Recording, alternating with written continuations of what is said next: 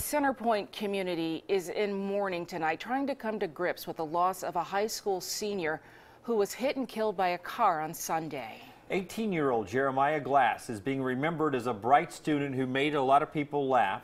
CBS 42 News reporter Stefan Dingle tonight in studio with us. And Stefan, these stories, they hit neighborhoods and they hit schools really hard. Jim, the person who was driving the vehicle that hit Jeremiah Glass apparently lives on the same street as the 18-year-old. Now, investigators say Glass was walking along the street when the car hit him. According to reports, the driver was speeding down the road and never saw the teen walking. Now, the speed limit there is 25 miles per hour. Now, Jeremiah's family, classmates, principal, and even his girlfriend, who was awaiting his call before he was killed, remember him as funny, loving, and kind was a fine student here at Center Point High School.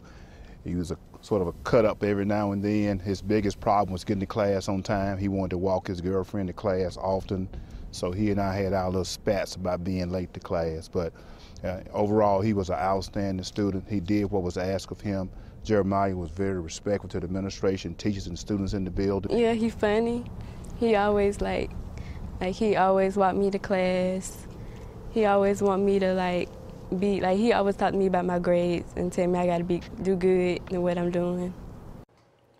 Now, while official charges have not yet been filed, manslaughter charges are expected. The high school will gather Wednesday morning in front of the Center Point High School uh, at the flagpole to pray for Jeremiah and his family. Live in the studio tonight, Stefan Dingle, CBS 42 News.